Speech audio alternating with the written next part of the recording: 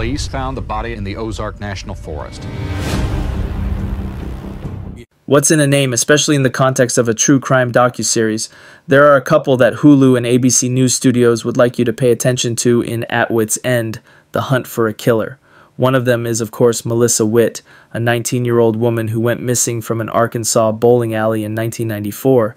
But the other, curiously, is Ridley Scott, whose production company, Scott Free Productions, lends this series an unusually cinematic style.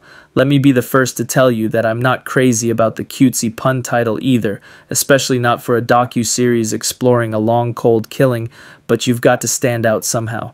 Anyway, let's talk about Melissa Witt. Melissa was a well-liked teenage girl who went to surprise her mother at Bowling World in Fort Smith, Arkansas. She vanished from the parking lot on December 1, 1994, and wasn't seen again until her body was discovered by two hunters in the Ozark National Forest on January 13, 1995. Melissa had been strangled to death. She was found nude, with her clothing and possessions having presumably been taken by her killer. Blood found in the bowling alley parking lot and in Witt's vehicle implied a struggle had taken place. But even three decades later, a complex interagency investigation has failed to deduce who exactly killed Melissa and why. At wit's end, the hunt for a killer is largely framed from the perspective of the local reporter Charlene Shirk, who broke the story in 1994. This isn't quite the equivalent of the team working on the cold case in more recent years, but it's the next best thing since it represents the more independent point of view of the time. Police were involved but largely unconcerned, as is often the case. But the presentation of perspective is important too, which is where Ridley Scott comes in.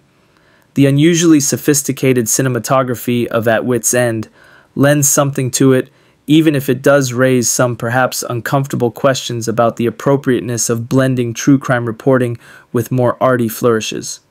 It's forgivable here, though, because there's an obvious tastefulness in the gimmickry, and the cinematic style enhances the stakes of the investigation rather than detracting from them. It's easy for the audience to buy in, and it highlights how lazy documentary filmmaking can be when it's merely a string of talking heads interspersed with newspaper clippings or some such.